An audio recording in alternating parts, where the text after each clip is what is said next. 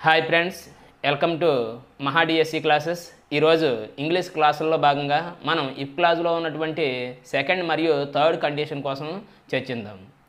అయితే ఇందులో మనం తీసుకున్నటువంటి సెకండ్ కండిషన్ చూసినట్లయితే improbable condition or imaginary condition improbable అంటే అసంభవమైన ఇమాజినరీ అంటే ఊహించి చెప్పేది అని చెప్పేసి దీని యొక్క అర్థం వస్తుంది.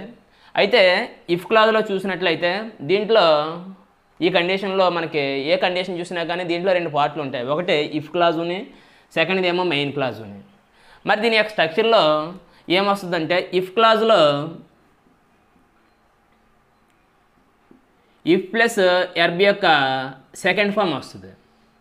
ఇఫ్ ప్లస్ ఎర్బి యొక్క సెకండ్ ఫామ్ వస్తుంది. ఇఫ్ ప్లస్ ఎర్బి యొక్క సెకండ్ ఫామ్ అంటే అర్థం ఏంటంటే పాస్ట్ టెన్స్ వస్తుంది అనమాట ఇక్కడ. అంటే సింపుల్ పాస్ట్ టెన్స్ ఇక మెయిన్ క్లాజ్లోకి వచ్చినప్పుడు ఏమొస్తుందంటే అంటే సెకండ్ పార్ట్లో వుడ్ ప్లస్ ఎర్బి యొక్క ఫస్ట్ ఫామ్ వస్తుంది. అంటే బేస్ ఫామ్ అనమాట మరి సాధారణంగా మనకి ఈ విధంగానే స్ట్రక్చర్ అనేది వాడడం జరుగుతుంది.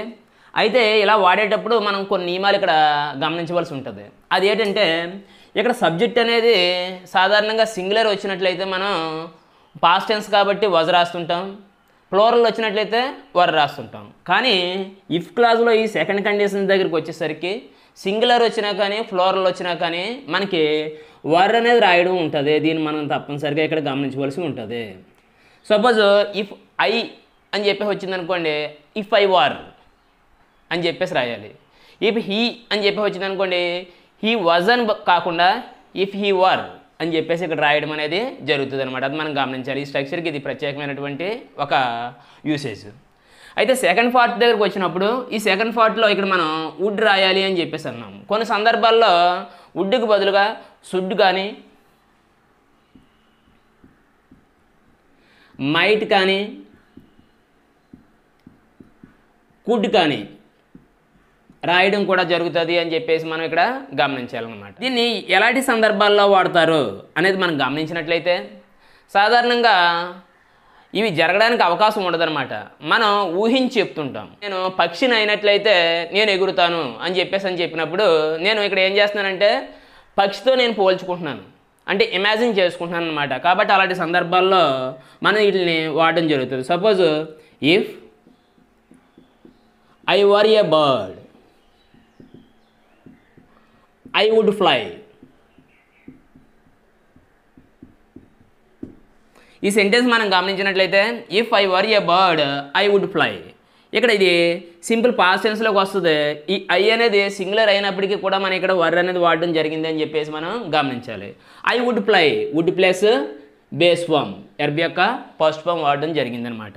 ఈ సెకండ్ సెంటెన్స్ మనం గమనించినట్లయితే if I became PM of India I would serve the society అంటే నేను ఇండియాకి కానీ పిఎం అయినట్లయితే సమాజానికి సేవ చేస్తాను అని చెప్పి చెప్తున్నాను అనమాట అంటే నేను ఇక్కడ ఊహించుకుంటున్నాను. కాబట్టి ఇక్కడ చూసినట్లయితే ఇఫ్తో మనకి ఏమొస్తుందంటే ఎర్బియాక్ సెకండ్ ఫామ్. అంటే సింపుల్ పాస్ట్ టెన్స్ రావడం జరిగింది. Become became become. కాబట్టి ఇది సెకండ్ ఫామ్ అనమాట అంటే ఫాస్ట్ ఫామ్. ఇక సెకండ్ పార్ట్లో వుడ్ ప్లస్ సార్. అంటే వుడ్ ప్లస్ వి వన్ రావడం జరిగిందనమాట ఇది గమని ఈ సెంటెన్స్ మనం గమనించినట్లయితే if I won a lottery I would build a house అని చెప్పేసి అన్నాం. దీంట్లో ఇఫ్తో ఇక్కడ మనకి పాస్ట్ టెన్స్ వచ్చింది సింపుల్ పాస్ట్ టెన్స్ వచ్చింది. మరి సెకండ్ పార్ట్లో ఏమొచ్చింది వుడ్ ప్లస్ వి వన్ వచ్చిందనమాట. అది మనం గమనించాలి. ఈ విధంగా మనకి ఈ ఇమాజినరీ కండిషన్ ఆర్ ఇంప్రాబుల్ కండిషన్లో ఏవైతే ఊహించి చెప్తామో ఊహించి చెప్పి వాటి కోసం దీన్ని ఉపయోగిస్తాం. ఇందులో ఇఫ్ క్లాజ్లోనేమో సింపుల్ పాస్ట్ టెన్స్ వాడడం జరుగుతుంది. ఇంకా సెకండ్ పార్ట్లోనేమో వుడ్ ప్లస్ ఎర్బి యొక్క ఫస్ట్ ఫామ్ వాడడం జరుగుతుంది అని చెప్పేసి మనం గమనించాలన్నమాట. అయితే ఈ కండిషన్ని మనం వాడేటప్పుడు ఈ సెంటెన్స్ అనేది దేన్ని తెలియజేస్తుంది అంటే సాధారణంగా ఇవి సజెషన్స్ తెలియజేయడం అనేది జరుగుతుంది. ఎలా అంటే సపోజ్ మీరు డాక్టర్ని కన్సల్ట్ అవ్వండి అని చెప్పేసి ఎవరికన్నా మనం సజెషన్ ఇవ్వాలని అనుకున్నట్లయితే దీని నుంచి ఏమని చెప్తామంటే నేనే కానీ నీ స్థానంలో ఉంటే నేను డాక్టర్ చూపించుకునేవాడిని అని చెప్పేసి తెలుగులో చెప్తుంటాం. అంటే అది సజెషన్ అనమాట అంటే సలహా ఇస్తున్నాం. అది ఇక్కడ చెప్పేటప్పుడు ఏమని చెప్తామంటే if I were you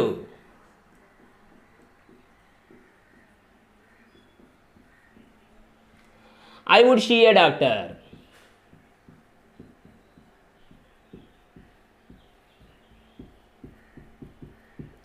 if I were you I would see a doctor నేనే కానీ నీ స్థానంలో ఉంటే నేను డాక్టర్కి చూపించుకునేవాడిని. ఇప్పుడు మనం ఈ improbable condition or imaginary condition నుంచి క్వశ్చన్స్ ఏ విధంగా తయారు చేయాలి? ఒక సెంటెన్స్ ఇచ్చినట్లయితే అనేది మనం గమనిద్దాం. You find a snake in your bathroom అంటే మీ బాత్రూంలో ఒక స్నేక్ని గమనించారు. అప్పుడు నువ్వేం చేస్తావు? అని చెప్పేసి మనం ఇక్కడ క్వశ్చన్ అడగాలి. అలా అడిగేటప్పుడు మనం ఏం చెప్తామంటే what would you do what would you do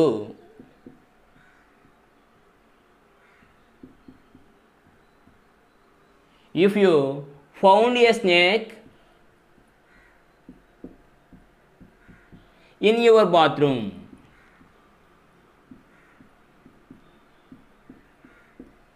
What would you do if you found a snake in your bathroom ఇక్కడ మన స్ట్రక్చర్ చాలా important would plus V one వచ్చింది.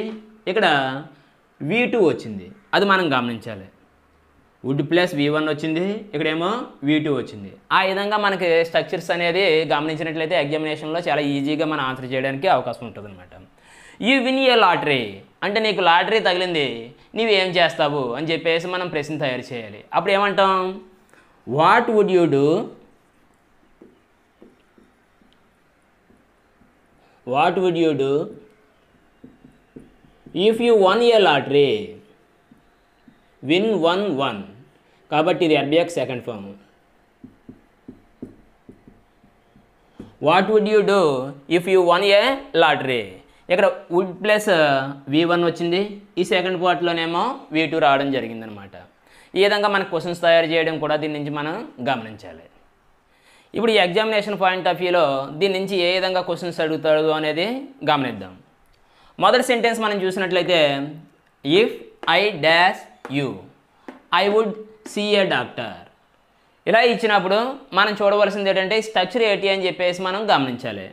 ఇక్కడ ఈ పార్ట్లో ఇఫ్ క్లాజ్లో ఏమి వస్తుందో ఇది అడిగాడు. అంటే మెయిన్ క్లాజ్లో ఏమున్నది అనేది మనం చూడాలి ఇక్కడ. ఇక్కడ వుడ్ ప్లస్ వి వన్ ఉన్నది. వుడ్ ప్లస్ వి వన్ ఉన్నది. కాబట్టి మెయిన్ క్లాజ్లో వుడ్ ప్లస్ వి వన్ ఉన్నదంటే అది ఎప్పుడు వస్తుంది ఇక్కడ? వి టూ వచ్చినప్పుడు వస్తుంది. మరి ఇక్కడ ఐ అనేది ఉన్నది ఇక్కడ బీ ఫామ్ ఏమొస్తుంది కాబట్టి అది మనం గమనించాలన్నమాట. ఇక్కడ మనం రాయవలసింది ఏం రాయాలి? వర్ రాయాలి. ముందు మనం చెప్పుకున్న దాని ప్రకారంగా. ఇక సెకండ్ సెంటెన్స్ మనం గమనించినట్లయితే ఇఫ్ యూ ఆస్క్డ్ హిమ్ దీనికి సరిపోయే స్ట్రక్చర్ దీంట్లో ఏమవుతుంది అని చెప్పేసి చెప్తున్నాడు. ఇక్కడ ఇఫ్ ఉంది. దీంతో పాటు ఆస్క్డ్ అంటే వీ టూ వచ్చిందనమాట అంటే సింపుల్ పాస్టెన్స్ వచ్చింది. అప్పుడు మనకు సెకండ్ పార్ట్లో ఏం వస్తుందని గమనించాం మనం? వుడ్ ప్లస్ వెర్బ్ యొక్క ఫస్ట్ ఫామ్ వస్తుంది. వుడ్ ప్లస్ వి వన్ వస్తుంది. ఈ వుడ్ ప్లస్ వి వన్ అన్నది ఎక్కడ ఉన్నదో మనం చూసుకోవాలి. ఇక్కడ విల్ వచ్చింది కాబట్టి ఇది ఆన్సర్ కాదు. ఇక్కడ చూసినట్లయితే వుడ్ వచ్చింది వి వన్ వచ్చింది కాబట్టి ఇది ఆన్సర్ అవ్వచ్చు. ఇక్కడ చూసినట్లయితే ఇది వి టూ వచ్చింది కాబట్టి ఇది ఆన్సర్ కాదు. వుడ్ ప్లస్ హ్యావ్ ప్లస్ ఎర్బియాక్ థర్డ్ ఫామ్ వచ్చింది కాబట్టి అది కూడా ఆన్సర్ కాదు. కాబట్టి మనకి ఏమవుతుందంటే ఈ సెకండ్ది ఆన్సర్ అవుతుందని చెప్పేసి మనం గమనించాలన్నమాట. ఈ విధంగా ఎగ్జామినేషన్లో ఇచ్చినట్లయితే ఆ విధంగా స్ట్రక్చర్ మనం గుర్తుపెట్టుకున్నట్లయితే ఏదైనా సరే మనం చేయడానికి అవకాశం ఉంటుంది. ఇప్పుడు మనం ఇఫ్ క్లాజ్లో ఉన్నటువంటి థర్డ్ కండిషన్ అయినటువంటి unfulfilled condition or impossible condition కోసం చర్చిద్దాం. మరి ఈ అన్ఫుల్ఫిల్డ్ లేదా ఇంపాసిబుల్ కండిషన్ అనే దాన్ని దేనికి వాడతామంటే పాస్ట్లో మనకి రెండు పనులు పూర్తయిపోయి ఉంటాయి. ఈ రెండు పనుల కోసం మనం చర్చించే క్రమంలో ఈ అన్ఫుల్ఫిల్డ్ కండిషన్ లేదా ఇంపాసిబుల్ కండిషన్ని వాడతాం అనమాట దీని యొక్క స్ట్రక్చర్ మనం గమనించినట్లయితే if క్లాజ్లో if plus past perfect tense వస్తుంది. అంటే హ్యాడ్ ప్లస్ వెర్బ్ యొక్క థర్డ్ ఫామ్ వస్తుంది అనమాట మరి మెయిన్ క్లాజ్లో ఏం వస్తుందంటే వుడ్ హ్యావ్ ప్లస్ వెర్బ్ యొక్క థర్డ్ ఫామ్ వస్తుంది. ఇది మనం గమనించాలి. ఇది దీని యొక్క స్ట్రక్చర్ అనమాట దీన్ని జాగ్రత్తగా గుర్తుపెట్టుకోవాలి. మరి దీన్ని ఒక ఎగ్జాంపుల్ తీసుకుని ఆ ఎగ్జాంపుల్ని చర్చిస్తూ మనం నేర్చుకుందాం. ఇక్కడ ఒక ఎగ్జాంపుల్ ఉంది. గమనించినట్లయితే Sunitha wasted her time so she failed in the exam Sunitha wasted her time so she failed in the exam అంటే సునీత తన యొక్క టైం అంతటిని కూడా వేస్ట్ చేసింది. అందువల్ల ఎగ్జామినేషన్లో ఫెయిల్ అయిందనమాట దీన్ని తీసుకుని ఇఫ్ను ఉపయోగించేటప్పుడు ఎలా వాడతామో చూడండి. ఇఫ్ అంటే దీనికి వ్యతిరేకంగా చెప్తాం ఇఫ్ను ఉపయోగించేటప్పుడు. అంటే సునీత వేస్టెడ్ హెర్ టైం ఒకవేళ సునీత టైం వేస్ట్ చేయకుండా ఉంటే ఏమవును అనేది మనకి ఇఫ్లో చెప్పడం జరుగుతుంది అనమాట ఇఫ్ సునీత హ్యాడ్ అంటే wasted her time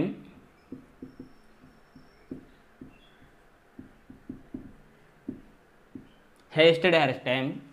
She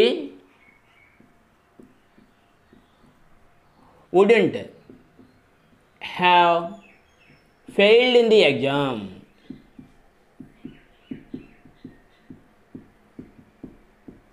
అని చెప్పేసి అంటాం అనమాట అంటే ఇక్కడ ఒకసారి మన స్ట్రక్చర్ని ఒకసారి చూసినట్లయితే had plus wasted had wasted. అంటే ఫాస్ట్ పెర్ఫెక్ట్ టెన్స్ అనమాట అంటే ఫస్ట్ది. ఇక సెకండ్ పార్ట్లో ఏమొచ్చింది? Would have plus V three వచ్చిందనమాట అంటే దీని యొక్క మీనింగ్ ఏమొస్తుంది? సునీత కానీ టైం వేస్ట్ చేయకుండా ఉండేటట్లయితే ఆమె ఎగ్జామినేషన్లో ఫెయిల్ అయ్యి ఉండేది కాదు అని చెప్పేసి దీని యొక్క మీనింగ్ వస్తుంది. ఈ సెంటెన్స్ మనం గమనించినట్లయితే Raju did not invite his friend so he did not attend the party అనేది ఈ సెంటెన్స్ అంటే దీని యొక్క మీనింగ్ ఏంటి? రాజు తన యొక్క ఫ్రెండ్ని ఆహ్వానించలేదు.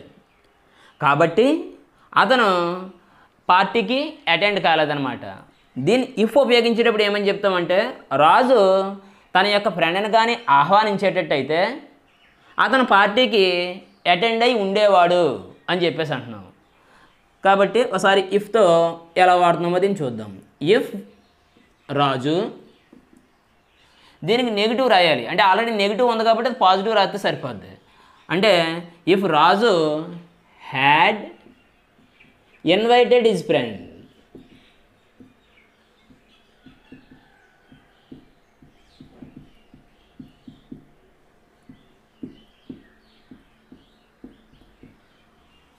he would have attended the party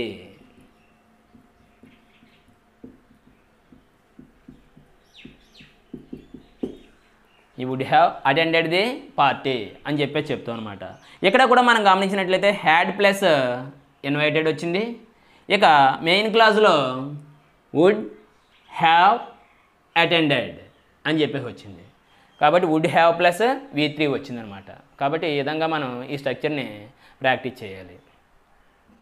ఇప్పుడు ఈ ఎగ్జామినేషన్ మోడల్లో ఇఫ్ క్లాజ్లో ఉన్నటువంటి థర్డ్ కండిషన్ నుంచి ఏ విధంగా ఇస్తాడో అనేది చూద్దాం. ఇక్కడ మొదటి సెంటెన్స్ మనం గమనించినట్లయితే if he had taken a taxi he dash not miss the train అని చెప్పేసి ఇచ్చాడు.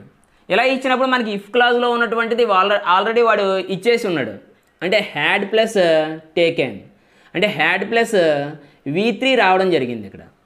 అంటే ఇఫ్ క్లాజ్లో హ్యాడ్ ప్లస్ వి త్రీ వచ్చినట్లయితే సెకండ్ పార్ట్లో ఏమొస్తుంది? Would have plus V three రావాలి. కాబట్టి హీ వుడ్ కానీ ఇక్కడ నాట్ పెట్టాడు ఇడు నాట్ మిస్ అన్నాడు. కాబట్టి wouldn't have V three miss missed missed so missed వస్తుంది అనమాట ఇలా మనం దీన్ని ఆన్సర్ చేయవలసి ఉంటుంది. ఇక సెకండ్ది వచ్చినట్లయితే I worked hard so I didn't play దీంట్లో చెప్పేటప్పుడు ఇఫ్ను ఉపయోగించమన్నాడు. ఈ రెండు కూడా పాస్ట్ టెన్స్ చూపించేవి. అంటే జరిగిపోయిన పనులు. కాబట్టి మనకి ఇవి థర్డ్ కండిషన్లోకి వస్తాయని చెప్పేసి మనం గమనించాలి. మరి ఈ థర్డ్ కండిషన్లో వచ్చినప్పుడు ఇఫ్ను ఉపయోగించేటప్పుడు మనం నెగిటివ్ రాయాలి వీటికి. ఇఫ్ ఐ ఏం రాయాలి? పాస్ట్ పర్ఫెక్టెన్స్ రాయాలి ఫస్ట్ దాంట్లో ఇఫ్తో ఉన్నప్పుడు. అంటే ఇఫ్ ఐ హ్యాడ్ ఇక్కడ నాట్ లేదు కాబట్టి నాట్ ఉంచాలి నెగిటివ్ రాయాలి. ఇఫ్ ఈ if I hadn't worked hard worked hard I not ఉన్నది కాబట్టి నెగిటివ్ ఉన్నది కాబట్టి అది పాజిటివ్ రాయాలన్నమాట. అది తీసేస్తే ఐ